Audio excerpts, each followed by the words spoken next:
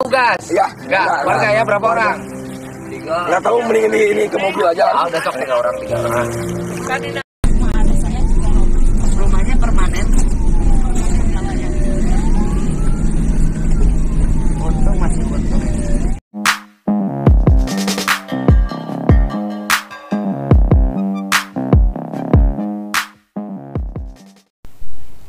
Sidang ditunda. Kang Dede Mulyadi sibuk bantu korban gempa di Cianjur. Ambu Ane meradang pertanyakan komitmen. Ya kisru perkara gugatan cerai Ane Ratna Mustika terhadap Dede Mulyadi kembali memanas.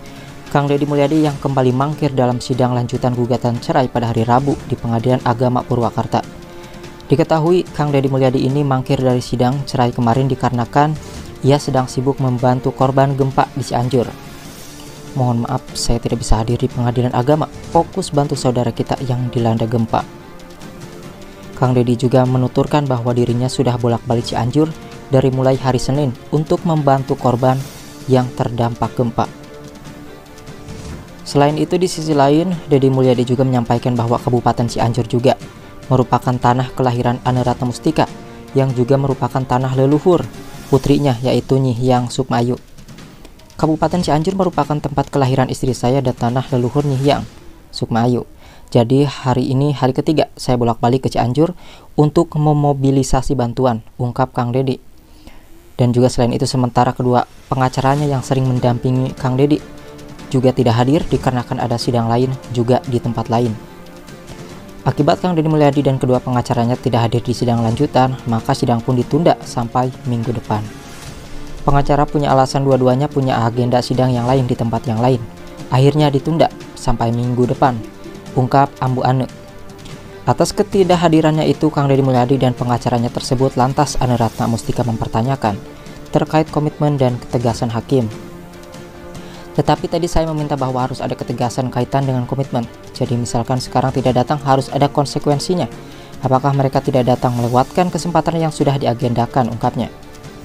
Selain itu Anuratna Mustika meminta majelis hakim untuk memberikan konsekuensi bila minggu depan pihak tergugat yakni Dedi Kang Dedi Mulyadi ini tidak datang kembali. Bahkan seperti ini seperti ingin cepat berakhir. Anu Ratna Mustika sampai meminta kepada majelis hakim untuk melewatkan jawaban materi gugatan yang harus dilakukan pihak tergugat. Kemarin tidak ditegaskan, jadi hari ini tidak ada putusan apa pun. Jadi kami meminta kalau minggu depan yang tergugat tidak hadir, meminta majelis untuk melewatkan agenda jawaban materi gugatan pungkasnya. Ya sebagai informasi, Kang Dedi dan Anda Ratna Mustika ini sudah menjalani lima kali sidang atas gugatan cerai dan harusnya sidang kemarin menjadi sidang keenam, namun ditunda lagi sampai minggu depan. Ya hal ini bersumber dari Kang Deddy Mulyadi channel yang diberitakan.